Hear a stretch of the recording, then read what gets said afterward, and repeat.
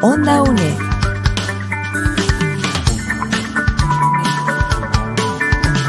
Un espacio de la Escuela de Ciencias Sociales y Humanidades de la UNED.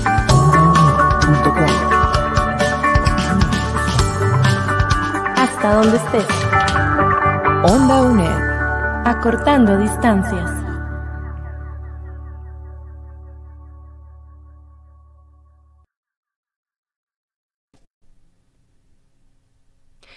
Continuamos con esta serie de entrevistas producidas por Onda UNED para la jornada de actualización laboral 2024.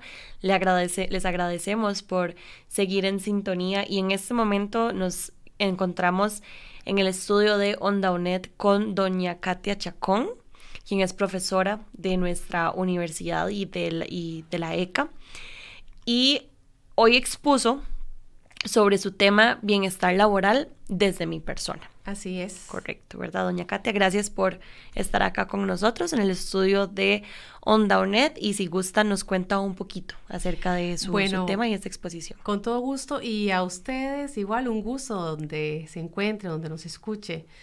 Es que estamos celebrando el Día del Profesional en Recursos Humanos, ¿verdad? Entonces, a la luz de esto, esta jornada especial nos pone a reflexionar en temas que son claves. Dentro de ellos, o por lo menos así lo quise hacer, ver en mi participación, cómo el ser humano contribuye al bienestar laboral, donde el bienestar laboral lo vamos a entender no lo que la empresa me ofrece únicamente, ¿verdad? Porque es una combinación de cosas, sino que también lo vamos a entender de qué ofrezco yo a este bienestar laboral.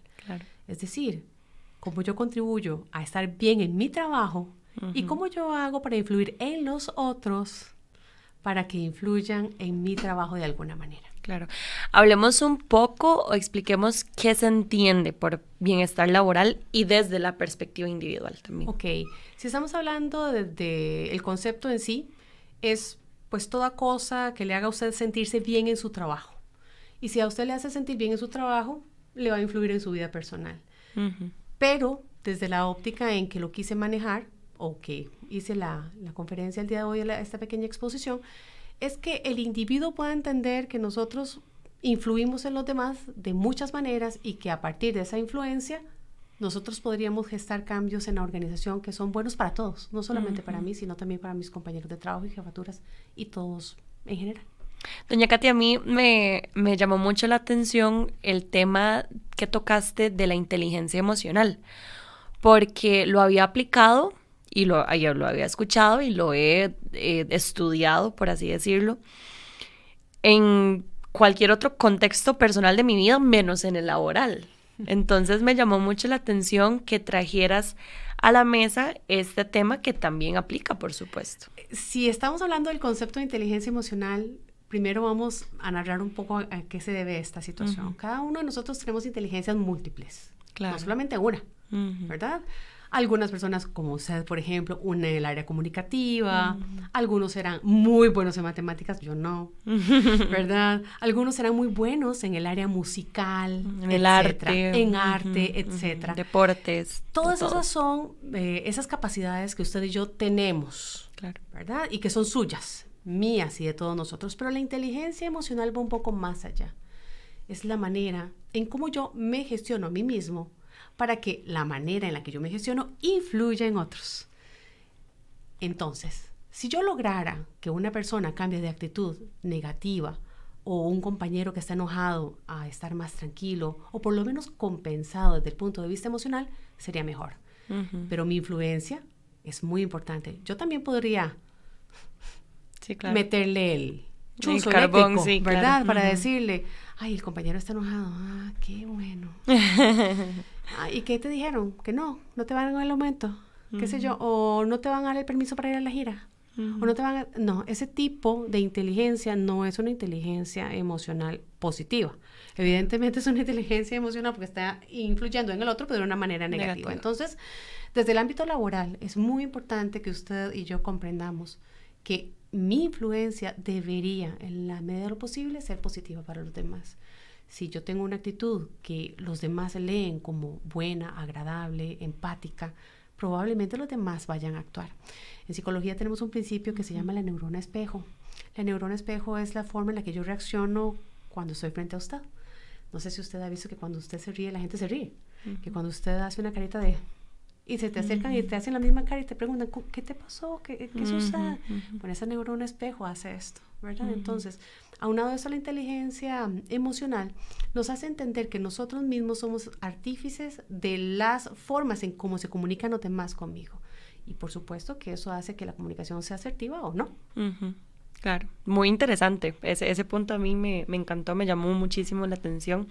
Doña Katia, ¿hay alguna manera en la que yo como persona pueda medir o evaluar mi propio bienestar en el contexto laboral, laboralmente hablando? Bueno, primero yo creo que las jefaturas deben tener un radar, ¿verdad? Ahora, no solamente es obligación de la jefatura, nosotros mismos Debemos de tener un comité de apoyo, que son mis colegas, los con los que yo me siento al día a día.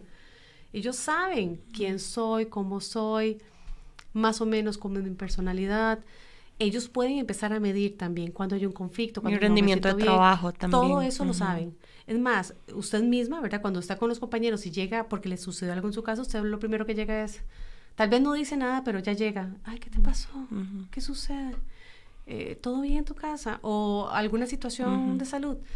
A eso es a lo que me refiero. O sea, medir es sencillo si comprendemos y conocemos a la contraparte. Yo no puedo medir algo que no conozco, ¿verdad? Entonces, la medición va más enfocada en darnos oportunidad a todos en que podríamos ayudar a un colega a conseguir, si fuera necesario dentro de la organización, ayuda psicológica. Hay muchas instituciones que ofrecen ayuda psicológica a lo interno de la empresa. Em, es un gran beneficio. También podría recibir la persona terapia privada o con estos compañeros que son el comité de apoyo o el grupo de apoyo, que generalmente los compañeros son un excelente foco de ayuda para todos los, los compañeros, entre ellos mismos. claro.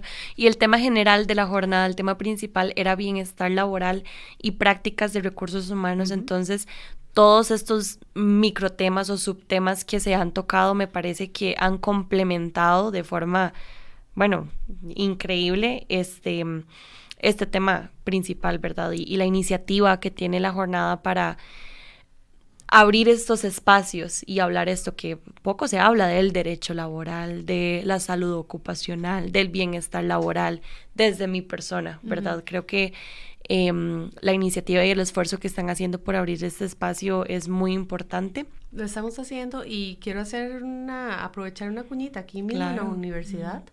Es un proyecto del Instituto de Investigación para la Paz adscrito a la Rectoría. Tenemos un curso que se llama Felicidad Integral para la Paz. Sí estamos caminando en esos caminillos, porque estamos dándonos cuenta de que los colaboradores en la universidad somos personas primero. No porque no lo supiéramos, a ver, siempre lo supimos. Lo que pasa es que ahora estamos cada vez más claros de que si una persona está bien, ella, todo lo que le rodea también lo estará. Así que en la medida de lo posible, aprovechando esta jornada, ojalá usted pueda hacer una reflexión con usted mismo para entender cuáles son los aportes suyos hacia la organización para que haya un bienestar general y cómo los demás contribuyen en su bienestar o no laboral. Uno tiene que levantar también las banderitas y decir, eh, auxilio, algo está sucediendo que no me está gustando en el ambiente laboral. Esa es una recomendación final.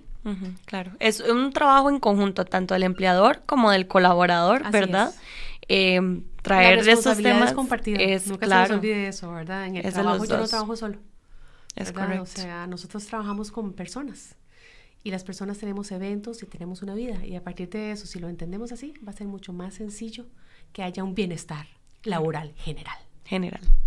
Muchísimas gracias, doña Katia, por estar acá, compartiendo este espacio con nosotros, compartiendo sus experiencias y su conocimiento en este tema. Agradecerles a ustedes por estar en sintonía por las plataformas digitales de Untaunet podrán encontrar esta cápsula y muchas entrevistas y temas más interesantes en nuestras redes sociales, Facebook, Instagram y YouTube. Los invitamos también a ver la transmisión completa de la jornada de actualización laboral de este año por las redes sociales de la ECA. Muchas gracias. Con todo gusto y gracias a ustedes.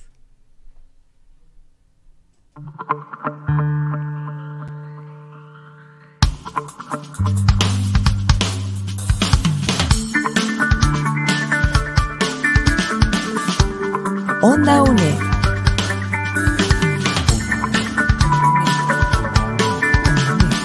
Espacio de la Escuela de Ciencias Sociales y Humanidades de la UNED.